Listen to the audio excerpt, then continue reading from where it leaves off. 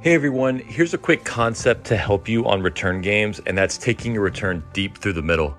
When you go deep middle, not only do you improve your consistency by taking away the net and wide errors, but you can see you can push your opponent deep behind the baseline and neutralize them.